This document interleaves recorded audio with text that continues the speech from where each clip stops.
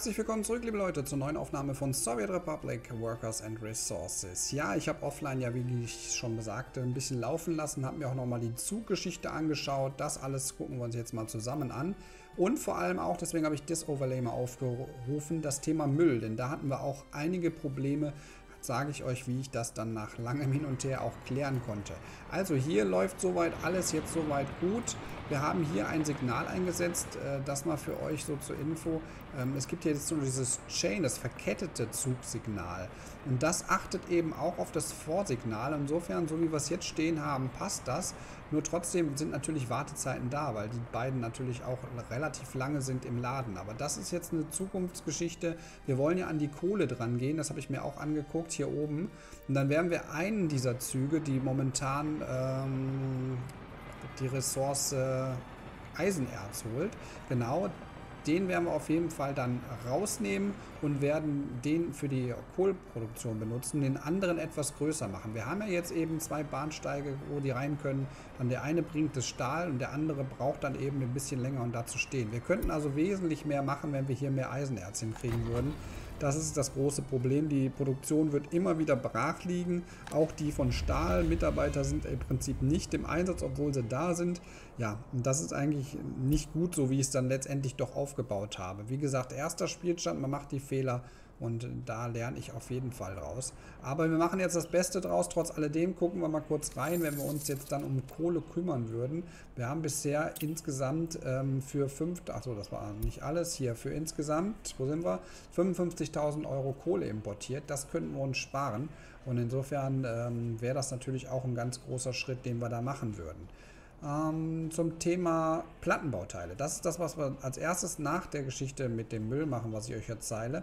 Denn die, die Fabrik ist fertig und auch diese 66.000, die wir importieren, können wir größtenteils einsparen. Wenn wir natürlich Dinge selbst bauen, also nicht andersrum selbst bauen, sondern sofort bauen, nennen wir es mal so, dann werden wir natürlich Plattenbauteile auch quasi vom Markt kaufen. Ne? Das wird immer wieder mal passieren, aber einen großen Teil davon können wir sicherlich auch einsparen. Und das werden wir dann jetzt gleich angehen, denn die Fabrik ist fertig. Aber ich musste eine andere Fabrik mal dazwischen bauen, denn unser Müll, wie gesagt, das war ein großes Problem. Ich habe letztendlich die Müllverbrennung nochmal dazu genommen, die nämlich jetzt allen Müll, der letztendlich hier in der Müllbehandlungsanlage, also sprich von dem ganzen Sondermüll hier anfällt, ähm, verbrennt, ne, den Rest dann verbrennt und auch von der Mülltrennungsanlage. Da trennen wir ja schon Bauschutt, Metallschrott und auch Plastikmüll.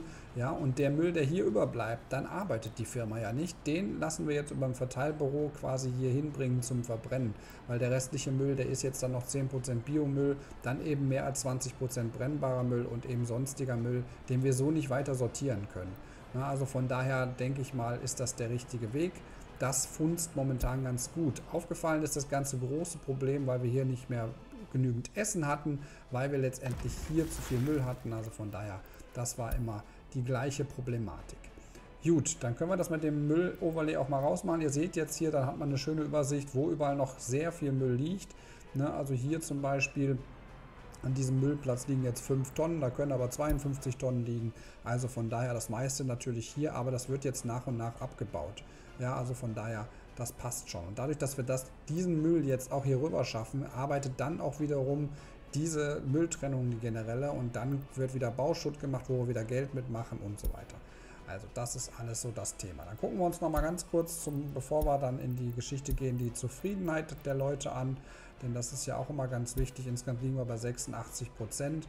Ja, also diese Häuschen zum Beispiel 81, da ist die Frage, konnten keine, ja, das ist das mit der Religion, ne? das ist eine große, schwierige Sache. Und wir wollten auch unbedingt mal ein Sportgelände nochmal bauen. Ne?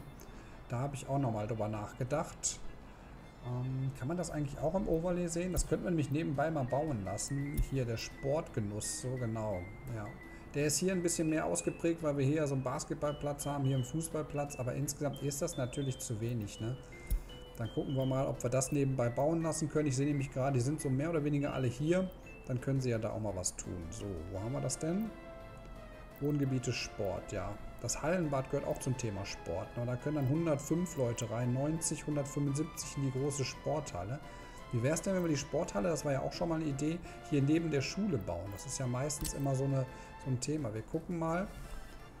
Ähm, wie, wie die Leute dann dahin kämen. Ja, das würde dann mehr die hier tangieren. Ein bisschen schlechter haben die es ja gerade mit dem Sport. Dann lasst uns dort... Wir haben ja hier diesen Streifen auch noch, wo ich auch schon mal dachte, da können wir mal was raus machen. Sporthallen Hallenbad. 90 Leute. Wie wäre denn ein Hallenbad? Das würde jetzt den ganzen Kern hier betreffen, wenn ich das hier hinsetze. Überall da, wo Meter stehen, die kämen dann quasi dahin, wenn ich das in die Richtung setze. Und das sind ja schon die, die eigentlich den Sport so nicht haben. Ne? Lasst uns das machen. Dann bauen wir das Hallenbad mal als erstes und gucken mal, wie sich das dann insgesamt verbessert. Das können wir gut hier hinbauen. Finde ich ganz gut. Die Ressourcen haben wir alle. Plattenbauteile brauchen wir dafür nicht. Und von daher passt das. Dann lassen wir mal bauen. Wir gucken mal, hier vorne war glaube ich noch so ein Weg, den wir noch mit reinnehmen. Könnten von, von der Straße aus kommen, aber ist natürlich schöner, wenn sie das dann über ihre Gehwege machen. Und dann sollen sie das auch tun. So, das gehen wir auch noch frei zum Bau. Dann ist alles in Ordnung. Dann können wir mal auch auf Play machen, dass die da auch loslegen. Und dann wird das hier besser. Das Overlay lassen wir mal raus. Gut, dann gucken wir uns die Plattenbauthemen an. Plattenbauthemen an. Haben wir hier Verbindungen sind alle da, habe ich schon geprüft. Auch die können, da müssen wir echt immer wieder hingucken, den Müll jetzt auch wegbringen, denn das ist ja der sogenannte Müllcontainer im Gebäude. Der muss natürlich auch leer werden. Das bringen die natürlich dahin, wird wiederum abgeholt. Ach ja, das habe ich auch noch gemacht. Ich habe jetzt nochmal die technischen Betriebe einmal komplett nur diese Containergeschichten und auf der rechten Seite haben wir dann ähm, nur die normalen, die die Müllbehälter der Häuser quasi mehr oder weniger abholen. Also von daher ein zweites kostenloses, damit wir da auch besser aufgestellt sind. So, was brauchen wir jetzt hier für unsere Plattenbauteilfabrik? Da brauchen wir Zement und Kies. Strom hat es. Ja, das fehlt auch hier oben. Mitarbeiter sind schon da, weil da hatten wir hier die, Mita äh, die Haltestelle hingemacht. Übrigens das noch schnell ausklicken. Also müssen wir uns nur noch um die anderen beiden Ressourcen kümmern. Und die haben wir ja. Und deswegen ist das ja eigentlich eine easy Sache. Wir haben hier Zement ja, und wir haben hier den Kies. Ja, und das können wir relativ schnell dann darüber bringen. Und das machen wir auch zum Beispiel, wenn wir mit dem Kies anfangen, dann holen wir uns mal einen von den dicken Panzern. Ah, das war der technische Dienst. Wo haben wir es? Da haben wir unser Straßendepot. Da brauchen wir nämlich auf jeden Fall einen Kipper für. Das ist hier der große. Mit dem können wir dann auch am besten arbeiten, würde ich sagen. Der ist zwar langsam, aber er hat ja keinen langen Weg. So, den nehmen wir uns. Wir sagen ihm manuell, das machen wir jetzt nicht über das Verteilzentrum. Ich denke mal, da wird die Produktion schon groß genug für sein. Da könnte man fast einen zweiten nehmen. Wir laden jetzt hier einmal Keys ein und das sollst du hier wiederum entladen. Das ist dein Job. Let's go. Dann fährt der Herr jetzt los. Wie gesagt, der ist ein bisschen lahm. Beim Zement, achso, bleiben wir hier drüben. Beim Zement brauchen wir, glaube ich, ein anderes Fahrzeug, nämlich die, die Staub Staubgutbehälter, genau. Da gibt es einmal den für 7 Tonnen und den für 9 Tonnen. Ja, wenn wir schon 25 Tonnen da vorne hinbringen, dann sollten wir auch mit dem großen hier arbeiten. Auch das machen wir. Und auch das machen wir manuell. Der soll nämlich dann im Staubgutlager quasi und soll es dann zu den Plattenbauen bringen. Auch dort klicken wir das Beladen und das Entladen von Zement an. Dann bringen wir jetzt Zement und Platten. Achso, ich muss ihn noch losschicken, fällt mir gerade auf. Zack. Dann bringen wir das jetzt an den Mann. Wo ist der Dicke? Der ist schon hier. Jetzt mal ruhig mal ein bisschen schneller. Das Spiel jetzt laufen.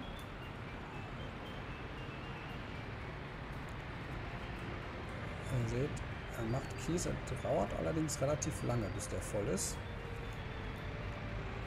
Aber die anderen können nebenbei noch dran fahren, das ist gut. Das sind nämlich die jetzt wiederum, die jetzt aus dem Baubüro kommen. Naja, guck mal, jetzt staut es schon.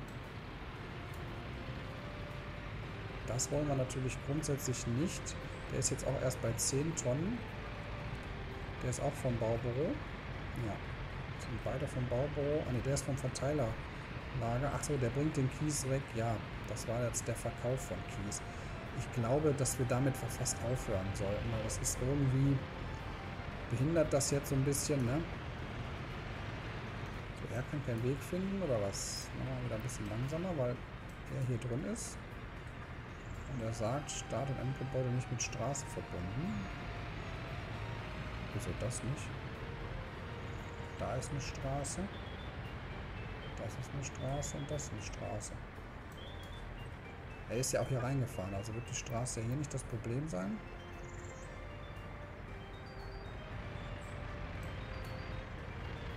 Und er braucht ja etwa eine normale Straße. Die Straßen gehen ja bisher auch. Dann lass uns die mal aufwerten.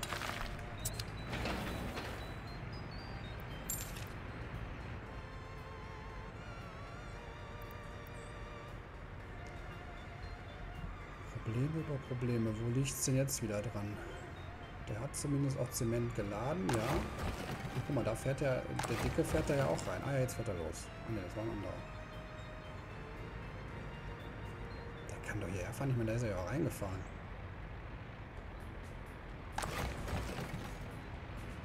So, der Dicke hat Kies gebracht, aber den Zement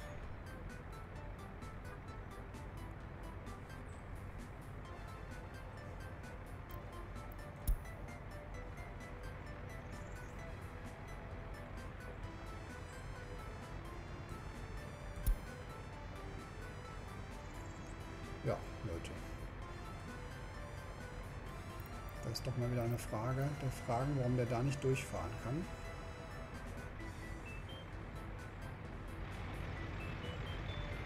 Alle anderen fahren hier durch. Ich wüsste nicht, warum er das nicht tun kann.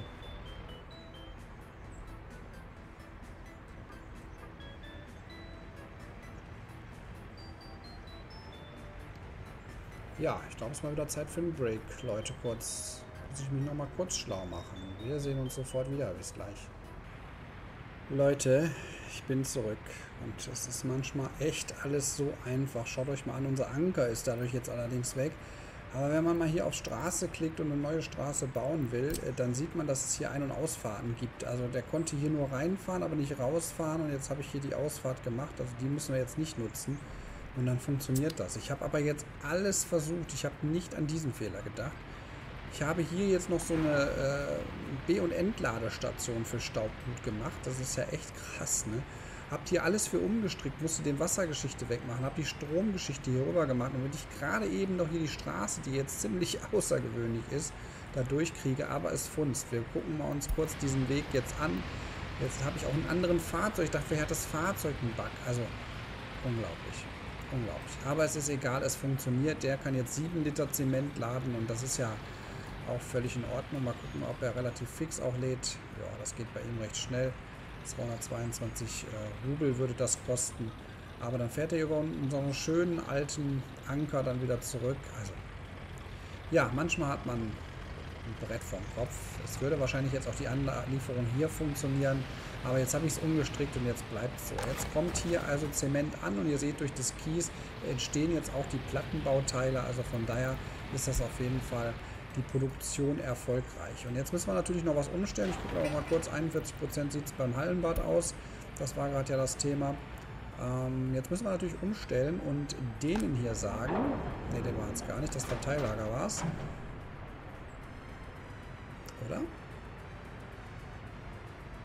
Ja genau, dem Verteillager müssen wir sagen, dass sie keine Plattenbauteile mehr am Zollhaus laden sollen, auch keine mehr im Freilager zu Ende oder hinbringen sollen, sondern dann geben wir ihm einen neuen Auftrag. Fahr zum der Plattenbaufirma.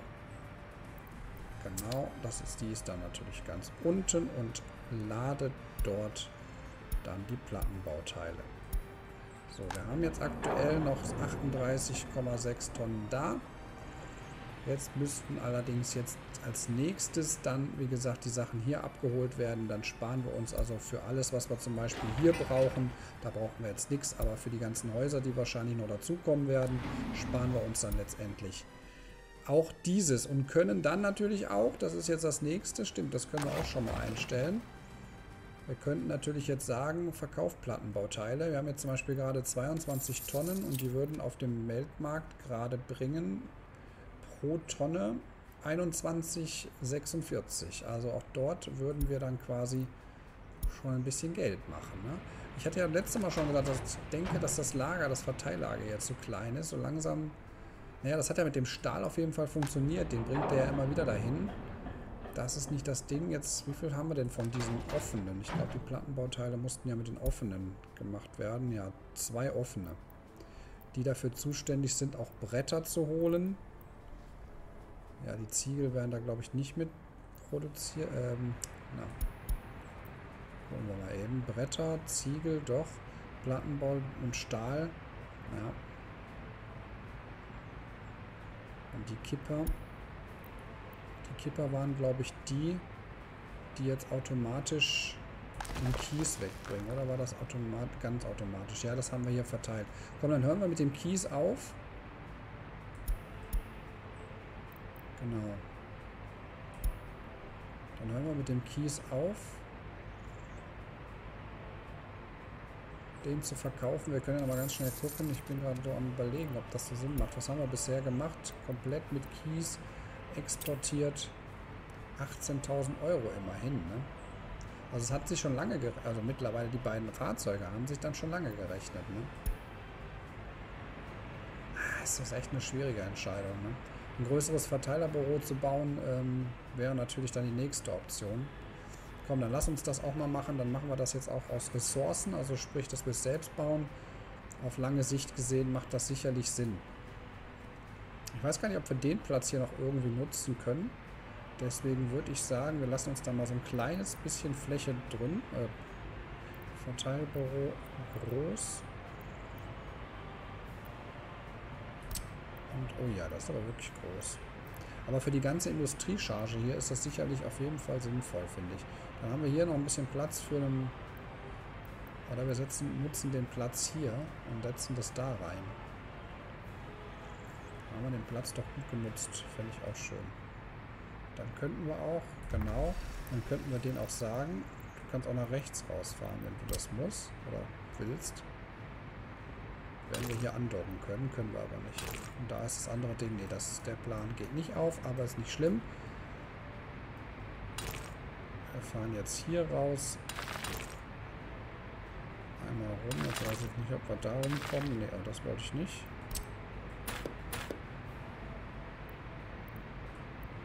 Na, so. Nee, kommen wir nicht rum. Müssen wir vielleicht nochmal ein bisschen wegmachen und den direkten Weg suchen. Auch nicht. Leute.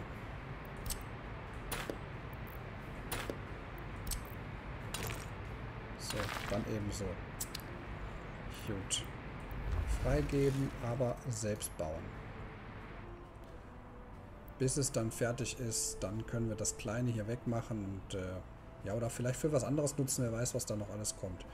Gut ist auf jeden Fall, dass wir Plattenbauteile jetzt hier haben und dass die dann auch irgendwann mal geholt werden. Er hat jetzt zum Beispiel gerade Ziegel gebracht. Jetzt würde ich mich mal interessieren, ob er vielleicht... Na, jetzt holt er nochmal Ziegel. Ziegel.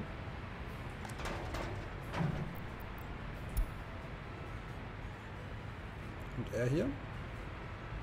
Ich würde jetzt eigentlich gern mal sehen. Wir haben ja wie gesagt nur zwei. Das einer davon sagt, jo, ich hole das jetzt. Und warum stehen die beiden Kipper jetzt eigentlich da rum? Ich meine, wenn sie denn schon Kies... Achso, wir haben denen gesagt, die sollen Kies... Wo ist es denn überhaupt? Hier haben wir gesagt, bei 30 Prozent. Wir brauchen den Kies ja jetzt auch gut hier hinten, ne? Komm, dann machen wir wirklich folgendes. Wir setzen jetzt ein... Was macht er? Feierabend. Ja gut, es kann auch sein, dass genügend Plattenbauteile da sind, ne? Da haben wir gesagt 30 Prozent. Augenblick. Freilagert wenn 40 Prozent. Okay. Ja, dann ist wahrscheinlich genug da. Aber ihr seht, es kommt immer mal einer da rein. Also das wird schon funktionieren. Sonst hätte ich jetzt gesagt, wir setzen jetzt einen raus. Dann machen wir trotzdem. Den setzen wir jetzt ins Depot. Fertig. Und setzen dafür ihn hier. Da haben wir ja noch einen. Den setzen wir dafür ins Lager. Ja. Dann haben wir einen mehr. Ich glaube, das ist insgesamt auf jeden Fall der bessere Weg. Gut, Hallenbad liegt bei 69%. Danach geht es um das neue Verteillager bitte. Und äh, ja, dann können wir uns jetzt mehr oder weniger der neuen Industrie widmen, die wir ja vorhaben. Also arbeitstechnisch haben wir noch genügend. Also hier sind 200 Leute insgesamt jetzt gerade, die warten. Es sind 328 Leute arbeitslos.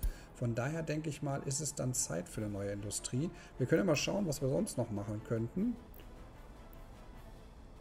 Das sind die Bauteile, die wir fertigen könnten. Dafür brauchen wir Stahl. Okay.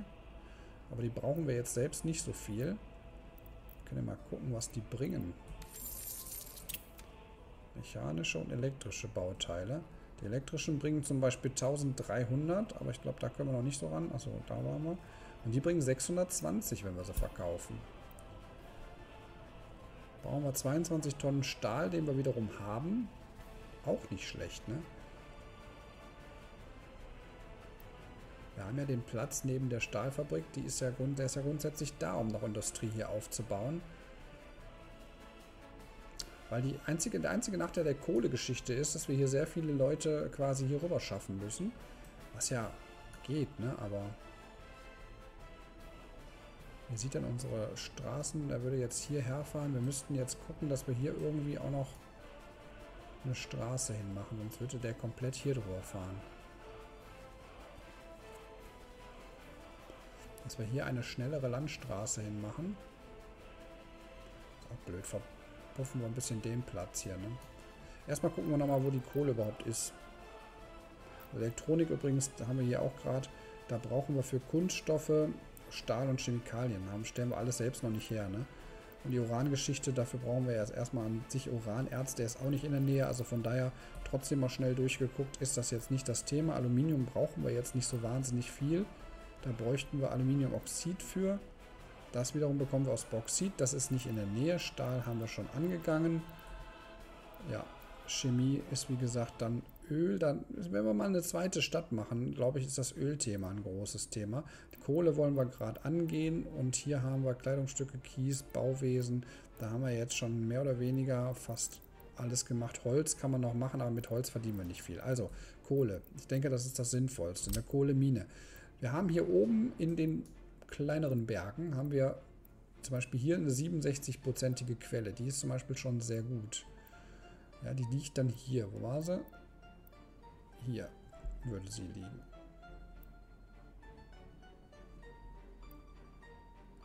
Die fände ich jetzt zum Beispiel schon ziemlich nice. Wobei, jetzt müssen wir wieder aufpassen, da sind wieder hier so äh, Verbindungen. Also die Kohlemine macht Kohlenerz und der muss wiederum verarbeitet werden in der Verarbeitungsanlage für Kohlenerz. Also, wenn wir den jetzt hier hin machen würden.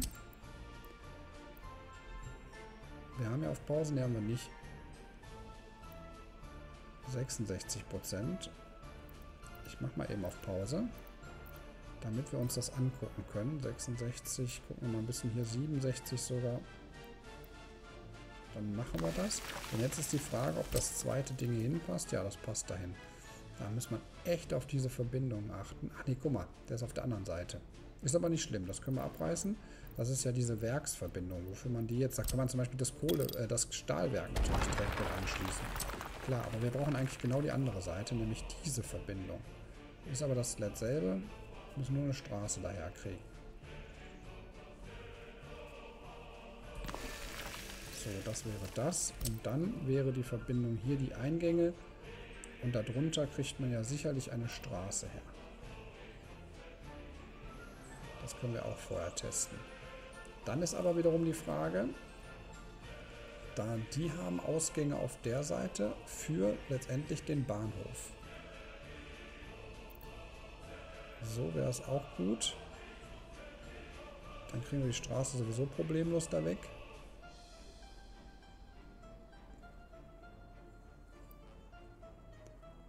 Und wir kriegen den Bahnhof da vielleicht hin. So ist jetzt der Gedanke.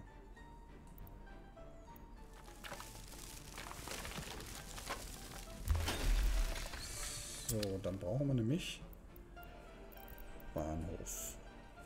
Für Fracht. Frachtbahnhof. Für Flüssiggut. Für Schüttgut. Das wäre die Kohle. Beladen. So, der sähe dann wiederum so aus. Und da hätten wir die Möglichkeit hier. So ist es noch besser.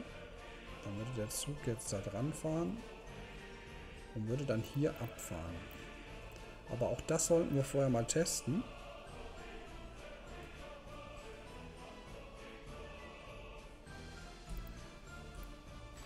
Denn nicht, dass das irgendwie zu steil ist und da wieder irgendwie keine Schienen hinpassen. Ähm, die Idee wäre nämlich letztendlich die auch wiederum weitläufigere Idee. Die Stadt ist ja irgendwann, muss sie ja auch mal vorbei sein. Ne? Wir können eine zweite Stadt dann machen. Wie gesagt, hier hinten, wenn wir eine Riesenbrücke bauen, keine Ahnung, was die kostet, ist hier ganz, ganz viel Öl. Also hier könnten wir wirklich eine Stadt entwickeln, die sich um Öl kümmert. Ja, ist auch nicht gar nicht so groß möglich. Also eher so eine wirklich so eine Arbeiterstadt irgendwie. Aber ich weiß nicht, was kostet so eine Brücke. Kann man das überhaupt sehen? Wir sind ja gerade im Dings-Modus. Betonbrücken bauen. Naja, kann nicht über Wasser enden. Guck mal, der ist die schon zu klein für. Ah doch, da geht es. Das kostet 391 Tonnen Asphalt, 4445 boah, und Kies. Aber das sind alles Materialien, die wir zum Beispiel, die wir selbst herstellen. Ne? Und die jetzt nicht so teuer sind.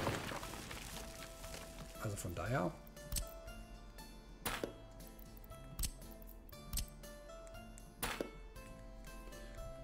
wäre das möglich. Das nur mal zum Checken. Aber dann würde die, ähm, die Stadt dann quasi hier so enden. Und wir könnten ja hier zum Beispiel dann noch das ganze Bauernmäßige, also sprich Pflanzen und so weiter herstellen. Also ich würde mir das hier so vorstellen können, weil wir es nämlich dann relativ schnell zu unserer ähm, Pflanzen- oder Nahrungsmittelfabrik bringen können. Das würde mir eben auch gefallen. Ne? Der Bauernhof ist es ja, den wir dann letztendlich brauchen sind jetzt viele Ideen, aber man muss ja vorausplanen. Aber deswegen denke ich, dass wir die Schienen genau hier runterziehen können. Und dann äh, würde das mit unserer weiteren Planung grundsätzlich passen, denke ich mal. Mal abflachen. Seht es geht schon los.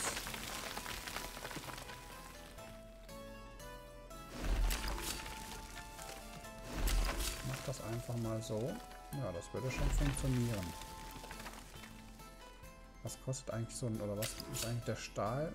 Brauchen wir Plattenbauteile, wenn wir das selbst bauen würden?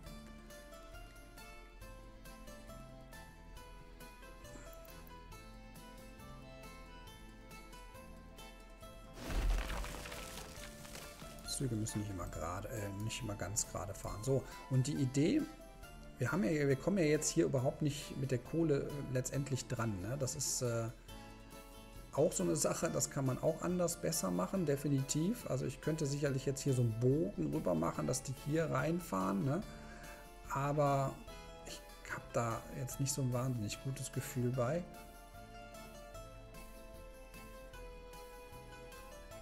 Kann es sicherlich mal probieren. Ich meine, wenn man jetzt hier jetzt diesen Turn nimmt, weil wir hier auch jetzt gerade rumgefahren sind. Bahnübergang ist nicht erlaubt. Ich will ja gar keinen Bahnübergang machen. So jetzt zum Beispiel.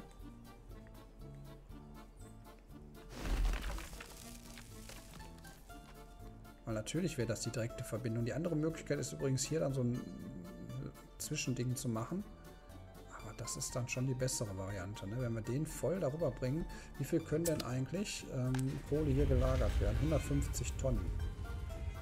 Keine Ahnung, wie lange die damit hinkommen, ne? aber grundsätzlich ist das möglich.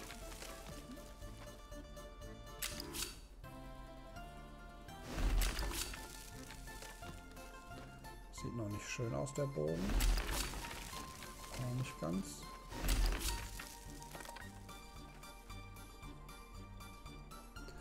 Immer noch nicht ganz. Aber jetzt. Ja. So. Das wäre jetzt die komplette Geschichte. Dann kann der quasi hier rein. Muss natürlich, aber das Signal ist ja da. Kann hier rüberfahren. Wenn alles so läuft. Ne? Also ich sage ja, manchmal läuft alles bescheiden, haben wir ja zuletzt gesehen. Und dann kann der das hier entladen. Da brauchen wir das gar nicht noch zusätzlich. Ist letztendlich vielleicht dieselben Kosten, als so viel Gleise zu verlegen. Ne? Wobei ich jetzt sagen muss, das gefällt mir auch noch nicht ganz so schön. Das können wir nochmal neu setzen. Sparen wir wahrscheinlich auch ein paar Meter.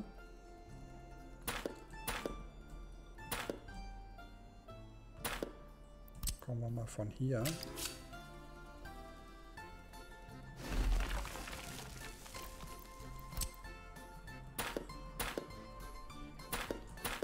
Soweit ist es übrigens schon, dass ich die Melodie im Auto nachpfeife. Die Musik ist ja ganz nett. So, das ist schöner. Die Kurve ist jetzt kein Burner, aber schöner. So. Und damit unserer schnellen Bahn, die wir da hinten haben, ich kann mir das gut vorstellen. Heißt aber natürlich auch, wir müssten letztendlich alles ähm, mehr oder weniger selbst bauen. Ne? Also sonst kommen wir da auch nicht schnell an dem Rest. Wir haben noch 5,7 Millionen, also letztendlich von den 9 Millionen, die wir hatten, oder hatten wir 10? Weiß ich gar nicht. Wir machen hier sogar Plus. Ähm, haben schon einiges ausgegeben, ne? aber wer nichts wagt, der nichts gewinnt. Ne? Ja. Meine, wir müssen natürlich jetzt auch erstmal Straßen hierhin machen. Ne? Also das müssen wir ja sowieso noch, fällt mir gerade ein. Stimmt, bevor ich bestätige, müssen wir gucken, dass die Straßen da rauskommen. Also hier oben rum ist ja gar kein Problem. Hier unten rum auch nicht. Ist eigentlich nirgendwo ein Problem. Doch, wir müssen hier drüber eine Brücke drüber bauen. Eine Brücke, ich und Brücke. Vielleicht machen wir die, das fände ich eigentlich ganz nice, parallel zu der, ähm, zu den Bahngleisen hier. Parallel bauen haben wir eingestellt. Warte mal, ich mache jetzt mal wirklich mit dem Raster. Weil wir haben einmal und die Straße können wir ja dann erstmal selbst bauen lassen. So. Ne, wir müssen mit der anderen anfangen. Aber bis hierhin können wir es schon mal ziehen. Machen wir ein bisschen Platz. Achso, wir brauchen ja auch noch ein zweites Gleis. Ne, ich depp. Wobei, wenn, wenn wirklich nur ein Zug fährt, das können wir immer noch machen. Dann machen wir den halt hier raus. Wir versuchen das mit einem Zug hinzukriegen und schauen dann mal. Und sonst können wir das immer noch auf der anderen Seite machen. Alles gut. Vielleicht reicht das da. Sparen wir uns ein bisschen Stahl.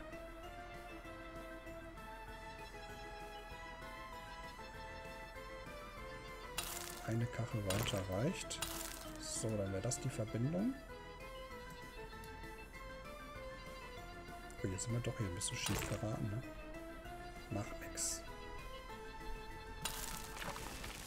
Natürlich müssen wir uns auch... Die, das Wasser ist ja hier das kein Problem. Wir müssen uns den Strom rüberziehen. Das wird das... das ja, Problem nicht, aber spannendere Thema. Achso, Brücken. Hier war eine Brücke nötig. Kommen wir hier eigentlich unten drunter? Dann brauchen wir nur eine Brücke. Oder wir gehen hier raus. Das ist die Idee. Kommen aber hier schon nicht durch. Das ist schon bescheiden. Ne, dann bringt das auch nichts. Hier können wir hinten rumgehen und dann müssen wir hier echt eine Brücke bauen. Ich würde hier aber mit Kies weitermachen.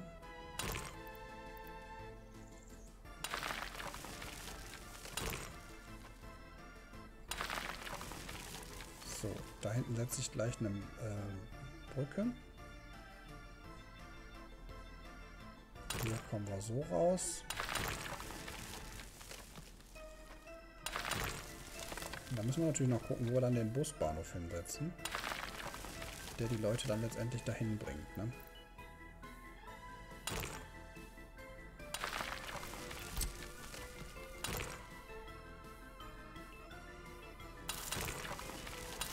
So stelle ich mir das vor. Jetzt haben wir hier hinten noch was. Wo kommen wir denn da raus?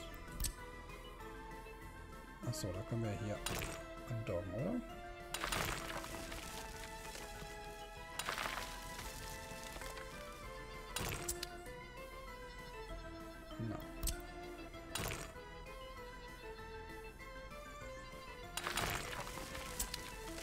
Komme ich immer auf die kleine Maustaste, deswegen rutscht das hier so ab. Aber so stelle ich es mir vor. Wunderbar. So, jetzt wäre die große Frage. Eine Bushaltestelle. Wäre eigentlich hier so richtig, ne? Denke mal, dann können sie überall hin. Dann machen wir die dahin. Wie viele Leute brauchen wir denn? Ich glaube, wir machen so eine ähm, 200er, oder? Es gab auch diesen Busbahnhof, den wir da mal gebaut haben, hier für 600. Aber so viel... Wie viel arbeiten denn da? Das könnten wir erstmal gucken. Dip, dip, dip. Fossile Brennstoffe. Hier arbeiten 15 und hier arbeiten 220 in der Kohlemine. Naja, das ist ja schon was, ne? Aber wie gesagt, ja nicht alle gleichzeitig. Also ich glaube, dass wir mit den 200er hinkommen. Sage ich jetzt mal. Das ist er hier.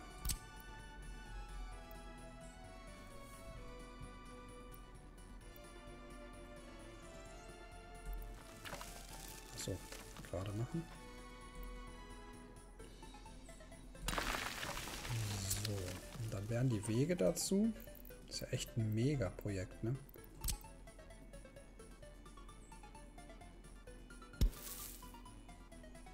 Nee, das machen wir anders. Kommen die hier rum? Das ist schon mal gut.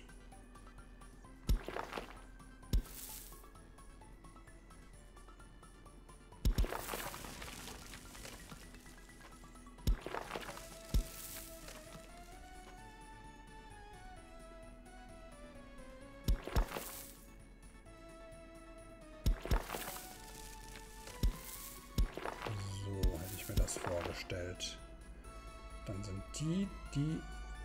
Jetzt fehlt es nur noch von... Ah, nee, das ist der Bahnhof. Dann arbeiten ja keine.